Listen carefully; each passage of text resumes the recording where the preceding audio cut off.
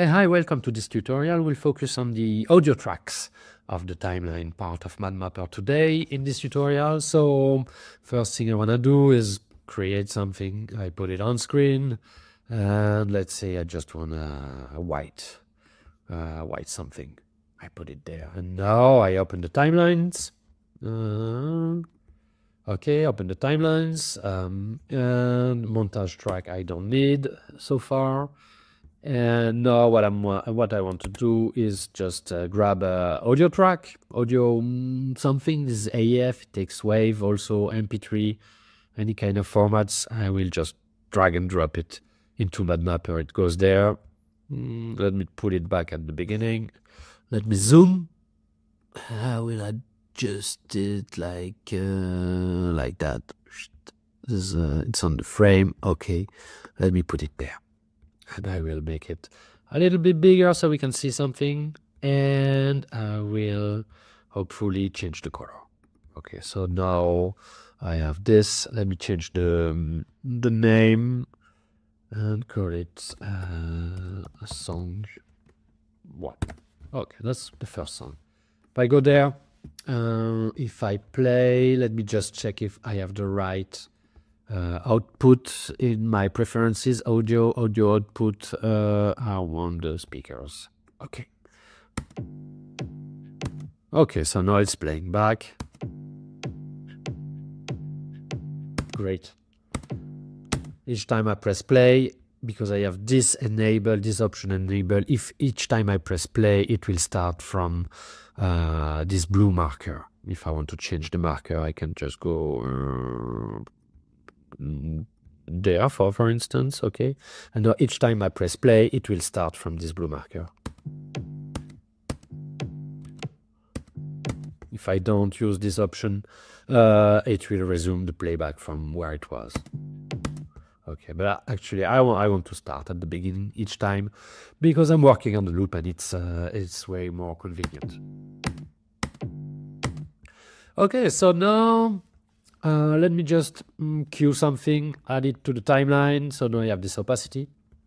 Okay, I have these keyframes. And as you can see here, there are some green marks. And actually, MadMapper generated these green marks uh, for you automatically. Uh, these grid marks are uh, actual snapping point. So whenever I make a keyframe, it's very easy to to match the beat because the, the, the snapping points are automatically generated. So now I add a keyframe there in the middle, boom, I can snap it. So that's very, very, very uh, convenient.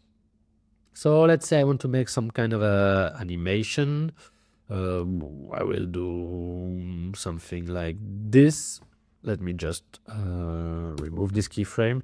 So now I have these two keyframes. I right click and make a clip. You know how to do this. And this keyframe, maybe I want a Bezier. So I just select it, click the B on the keyboard, and now I have a Bezier. And Bezier I want my animation to be something like this.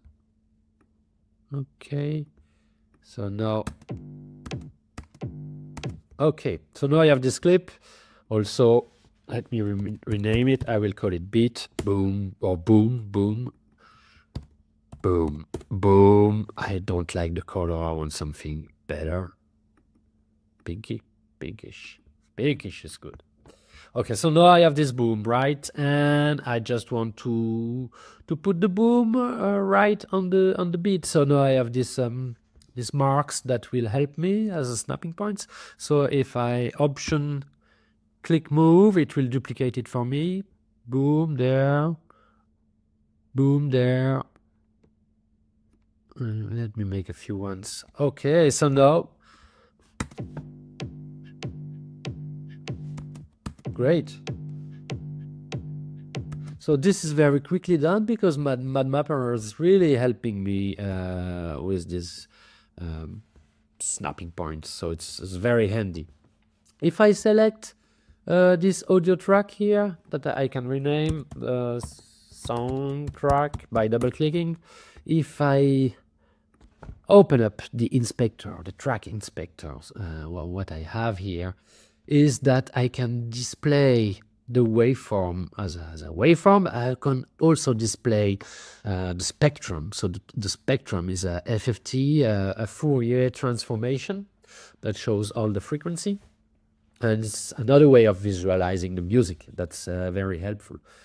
Right now I want I use the, the waveform, but in the background, I want to display uh, the, the Fourier transformation. And this is very cool because uh, uh, because if I make uh, some other tracks, uh, for instance, okay, um, let's say I want, uh, I want this, this, this. So now I have many tracks around and maybe I have this. So now I don't see the waveform, but if I display it as a background, uh, you can see I still have uh, my audio available as a background. So that's super powerful, uh, super powerful option. I will just remove uh, this because it was for the sake of the tutorial. And now if I go back here and uh, I remove all these quads, uh, which I don't need actually. Boom. Boom. Okay, I'm back. Okay, so I learned how to, to display this as a background. Uh, what is cool, what I can do is, for instance, let me go there. I have my clip and I right click. I split the clip in the middle and I will split it there as well. Okay, I split the clip.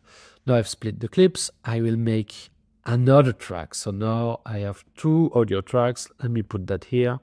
And this, I go back to where it was. Okay. So now let's focus on this one, for instance. Okay. I will zoom zoom in a little bit. This one I want to mute. So I click the M button and now I just playing back this one. Huh?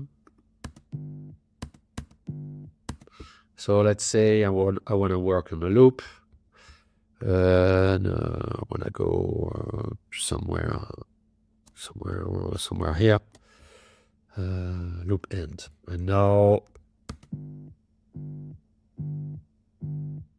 it's working on a loop, right? And this one, if I open the inspector, you can see I have a bunch of uh, options there. I have the speed. Okay, so I've changed the speed a bit. Nice. Like that.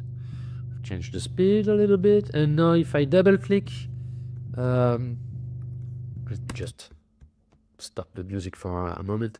If I double click here, oops, you see it's adding keyframes. And these keyframes actually are uh, volume keyframes. So I can make a volume and I can actually make a, some kind of a envelopes uh, like this. In this volume keyframe. And of course, uh, this uh, should be um, like that. Should be uh, changeable to Bezier so I can really uh, sculpt the the amplitude envelope. uh, of my um, of my audio like this like this. Let's leave it uh, like that for a moment. And now okay so now it's not uh, loud enough. So I can still uh, add some gain. Okay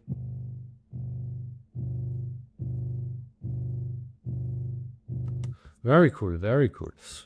Very cool. So now I have this, these two tracks, and one cool option of uh, MadMapper is that um, as of uh, this version, it now offers uh, multi-channel audio. So if I go to my preferences, uh, application audio, you can see audio outputs. I will not be using the speakers for this demonstration, but I have um, a loopback uh, audio application. It's called Blackhole. It's free to download.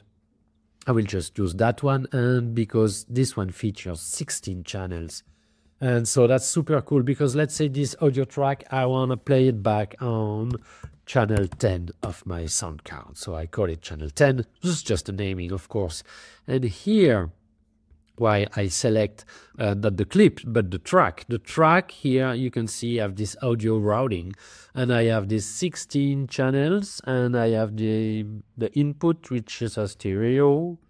So right here, I will go on channel 10 and put it 100% on channel 10 and activate the audio routing. So now this track will only play on channel 10 of my sound card if I if I were to have a, a, sound card with that many channels. And of course, if I press play, you will not hear anything because I, I changed the audio driver, but it's actually uh, sending to channel 10 of my sound card. Okay, it's there and I could override and use this one as a background as well. So whichever I click, it, it will take over and replace the, the, the current one. And now I have uh, uh, nothing anymore on the background. And I think uh, that's about it. And that uh, concludes uh, this tutorial about audio tracks. Thank you very much and see you in the next tutorial.